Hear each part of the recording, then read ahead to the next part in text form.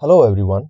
In this chapter, we will take a look at few more mathematical functions and their graphs, and then we will implement them in our shaders to see the visual results.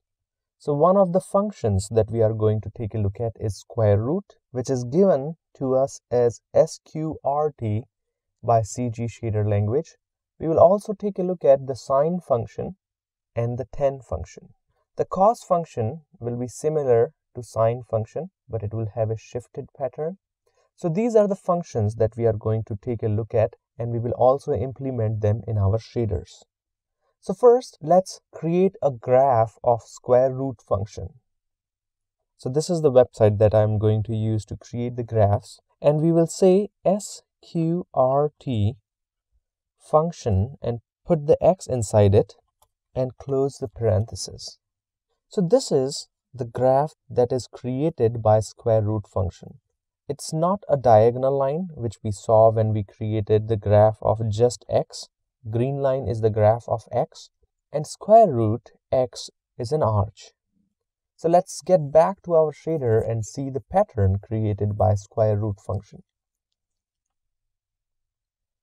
So I'm back in our Unity project and I will duplicate the gradient shader and rename it as SQRT. So it will be our SQRT, which is square root shader. We will just name it square root, but we will take a look at few more functions inside it. Let's open it in Mono Develop.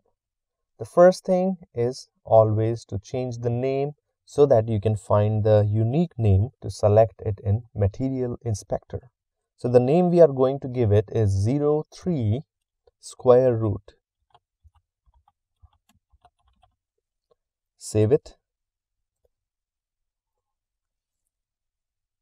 And instead of directly applying the texture coordinate.x in the fragment shader, we will apply a square root function and save it.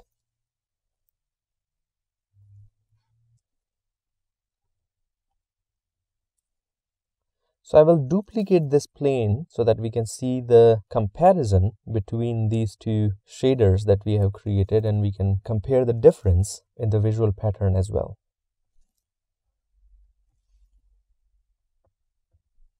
So this plane on the left is texture coordinate.x and the plane on the right is the square root function. If we understand this pattern from the same approach of looking top down from the camera, we can see that there is a arch that we see. The transparency is not 0.5 in the center. It's shifted a little bit. So let's create a 3D graph of this equation and see what it looks like from a top-down view. So this is a 3D graph panel of Grapher app on the Mac platform. You can also create the shapes inside Maya or 3D Max, but we are going to use this Grapher app because it provides us the capability of creating 3D graphs. And I will give sqrt x function to it. So what it has created for us is a plane that has arch shape. And this is exactly what we see in the 2D plane. And if we look at from the top down. This is the top view. So this is the closest area and gradually in an arc fashion it's disappearing, it's going farther. So if we consider it a foggy environment, it will slowly disappear, but it will disappear in an arc fashion. And how about a sine x? The sine x gives us a wave function. We should be able to see some lines appearing and disappearing with the sine function. And how about the tan? So this is a tan x graph which has this pattern and the values are going beyond 1. So let's implement these functions in our shader and see what visual results they give us.